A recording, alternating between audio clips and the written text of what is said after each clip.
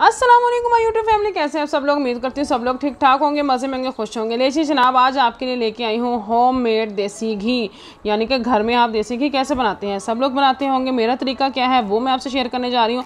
और नहायत ईजी है। चलें जी, चलते हैं हम आपके प्रोसीजर की तरफ़। हमने क्या करना है जी जनाब? सबसे पहले मैंने एक पतीली में मलाई थी जो मेरे पास घर की, जो दूध के ऊपर से मैं डेली वो इकट्ठा करती रहती थी एक बॉल में, वो मैंने ली है और एक हैंड ब्लेंडर लिया है और उससे मैंने इसको इस तरह से ब्लेंड करना शुरू कर दिया है। पहले तो मैंने ऐसे ही ट्राई करने की कोशिश की, लेकिन जी वो नहीं हिला। मैंने कहा, ऐसे ही ना हो कि मशीन ही ख़राब हो जाए। इसलिए मैंने थोड़ा सा ठंडा पानी का एक कप भर के डाला इसके अंदर। लेकिन जी, मज़े से वो चलना शुरू हो गया। और ये देखें जी, इतना इजी इतना इजी बहुत इजी हम ब्लेंडर जग में भी यूज़ करते हैं उसको बनाना, लेकिन वो ये होता है कि बार बार निकालना बार बार डालना बहुत मुश्किल लगता है। तो मेरे पास ये हैंड ब्लेंडर मौजूद था तो मैंने इसको इस तरह से यूज़ किया। फिर मैंने देखा कि थोड़ा थोड़ा बनना शुरू हो गया, लेकिन वो जैसे ही मक्खन ऊपर आना शुरू हुआ तो थोड़ा थोड़ा और गाढ़ा हो गया, वो मशीन फिर चलना मुश्किल हो गई।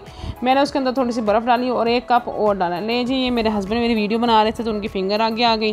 खैर वीडियो हमारी बन रही है। ले जी, मैंने ठंडा पानी और बर्फ़ डाल के फिर इसको ब्लेंड करना शुरू किया। दो तीन मिनट के लिए, दो मिनट आई थिंक मैंने किया होगा, इससे ज़्यादा नहीं किया। तो ये बिल्कुल ही ज़बरदस्त किसी का मक्खन सारा ऊपर आ गया और पानी पानी ये साइड पे रह गया है। ये देखें जनाब, बड़ा ज़बरदस्त तरीके से ये मक्खन पूरा, मैं, मुझे इतनी ज़्यादा खुशी हो रही थी कि देखे कितना प्यारा मक्खन आ गया है।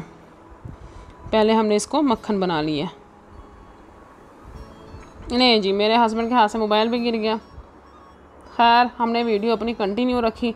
ये लें जी जनाब, जब मैंने हो गया था, उसके बाद ये अब आराम आराम से मैंने मक्खन को निकालना था।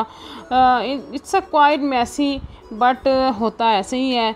तो अगर आपके पास कोई और ऑप्शन है, मुझे ज़रूर बताइएगा कि मक्खन को कैसे निकालना होता है, मक्खन को ठंडे पानी से कैसे निकालना है।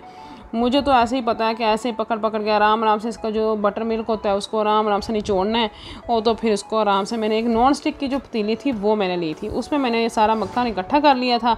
उससे ये होता है कि अगर आप किसी दूसरी पतीली में वगैरह में अगर इसको डालेंगे तो वो जल जाती है, उसको साफ़ करना बहुत मुश्किल हो जाता है। लेकिन ये नॉन स्टिक की पतीली में ये होता है कि आप इसको जितना मर्ज़ी आप इसको पकाते हैं तो ज़रा भी इसको जलती नहीं और दो मिनट में साफ़ हो जाती है। लेकिन माशाल्लाह से ये मेरे पास तकरीबन ऑलमोस्ट डेढ़ किलो क्रीम होगी, मलाई होगी, जिसमें से ये मैंने इसको चूल्हे पे हल्की आँच पे रख दिया है। इस मक्खन को जितना भी हमने इसमें से निकाला था। और इसको मैंने हल्की आँच पे रखने के बाद इसको मैंने मेल्ट कर लिया और मेल्ट करने के बाद इसको मैंने हल्की आँच पे रख दिया। और इसको काफ़ी देर तकरीबन मुझे आधा घंटा लग गया था क्योंकि मैंने बहुत लाइट आँच रखी हुई थी चूल्हे की, जिसकी वजह से ये देखें जी हल्का हल्का ये जो है मक्खन ऊपर आना शुरू हो गया है। और ये देखें जी जनाब, हमारा ऑलमोस्ट मक्खन तैयार है, नीचे नीचे बैठ जाएगा। मैंने तकरीबन एक डेढ़ चम्मच आटे का डाला था, जिसकी वजह से सारा नीचे खुद ब खुद बैठ गया। और जो घी घी था वो ऊपर ऊपर आ गया। ले जी जनाब, हमारा ज़बरदस्त किस्म का ब्यूटीफुल हमारा मक्खन रेडी हो गया है। जी जनाब, ये देखें, इतनी प्यारी खुशबू थी, इतना नीट एंड क्लीन ये तैयार हुआ था कि बस मैं आपको क्या बताऊँ।